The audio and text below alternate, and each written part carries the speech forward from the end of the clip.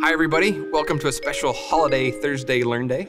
And today we're going to do a little bit of drawing in our Sphero EDU app and do some light painting as well. So what you're going to need is you're going to need a device, your Spark Plus or Bolt, and a camera with a tripod and a long exposure app. And what we're going to do is we're going to draw all of our favorite scenes from the holidays and make some great pictures that we can share with our friends and family.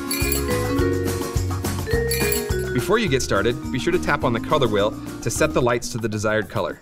Then, draw your picture and be sure to aim your robot before pressing start.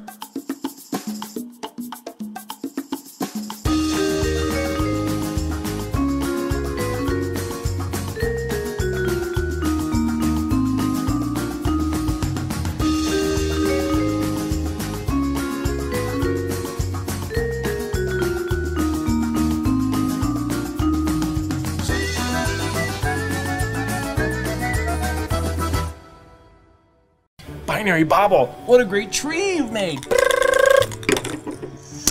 Hey guys, the draw canvas is a great way to get started with coding.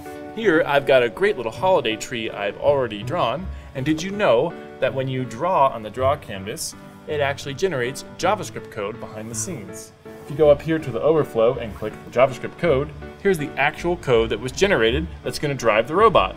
Did you know you can also adjust the color and the speed of your robot when you're doing a draw program. Make sure to have fun making long exposure holiday art.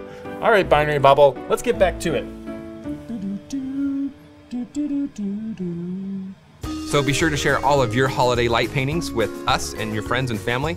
You can share on the app on Sphero Edu, or at Sphero EDU on Twitter. And remember, enjoy the holidays and check us out next week for another Thursday Learn Day.